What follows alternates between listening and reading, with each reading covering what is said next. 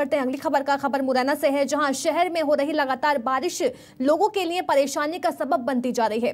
बारिश का पानी शहर की सड़कों पर जमा हो गया है और बारिश की वजह से शहर में जल भराव की स्थिति भी पैदा हो गई है। साथ ही पानी कई दुकानों के अंदर घुस गया है। इसी बीच बारिश को लेकर सियासत भी शुरू हो गई है।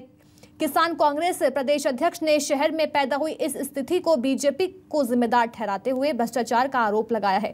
वहीं पूरे मामले पर पलटवार करते हुए बीजेपी जिलाध्यक्ष ने कहा कि कांग्रेस पर कोई मुद्दा नहीं है और कहा कि प्रदेश में पंद्रह महीने कांग्रेस की सरकार रही जिससे जनता का कोई भला नहीं हुआ।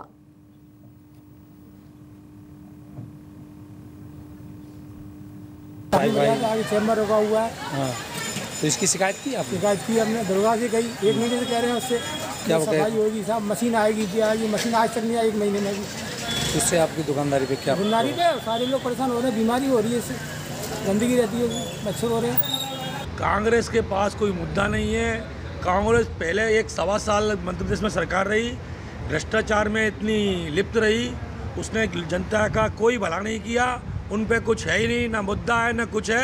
अगर इसकी यही स्थिति रही तो आप देख रहे होंगे कितने के सांसद हुआ करते थे, आज किस पोजीशन में पहुँच गए, कितने प्रदेशों में उनकी सरकार थी, आज किस किस पोजीशन में पहुँच गए, वो केवल बातें अच्छी कर सकते हैं, लेकिन इसके अलावा उनके पास कुछ मैटर ही नहीं बचा आज। ऐसी मुरैना की कोई सड़क नहीं है जहाँ पानी नहीं भर जाता हो, गंदा पानी, जहाँ हमारी माताएँ बहनें पूजा करने जाएँ तो वो नहीं जा सकती दूषित हो जाती हैं।